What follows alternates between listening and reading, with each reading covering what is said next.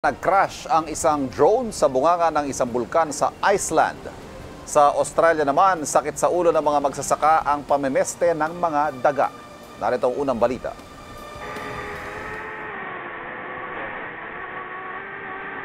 Yan ang nakamamanghang kuha ng drone ng isang YouTuber sa isang bulkan sa Iceland.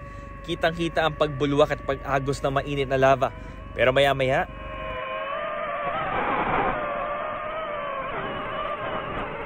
nag-crash ang drone sa bunganga ng bulkan. Dito na rin natapos ang video. Ipinaliwanag naman ng operator kung ano ang nangyari. Now, around the volcano where you have the hot gases emitted that cause turbulences all around it and hot rocks raining onto you, flying these things is even more tricky. Ang mga mabait na memeste sa New South Wales, Australia, ang isang magsasaka nalugi na raw ng mahigit 60,000 Australian dollars o mahigit 2 million pesos na halaga ng hay supply at butil ng palay.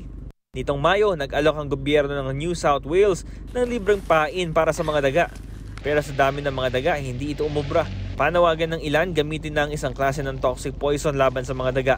Pero ipinagbabawal yan sa Australia. Para sa unang balita, Bam Alegre, puso para sa Pilipino.